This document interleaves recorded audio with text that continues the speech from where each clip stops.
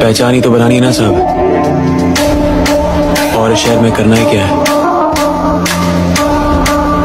चाहे वो रास्ता ही चमक। A